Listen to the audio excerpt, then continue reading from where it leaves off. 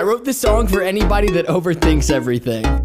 Hold up a second, can you spell that out for me? Because I O V E R T H I N K everything. And it's always worse at night when I'm just laying in my bed. When like every possibility starts going through my head, I overthink. I wrote this song for anybody that overthinks everything. Hold up a second, can you spell that out for me? Because I O V E R T H I N K everything. And it's always worse at night when I'm just laying in my bed. When like every possibility starts going through my head, I overthink. I wrote this song for anybody that overthinks everything.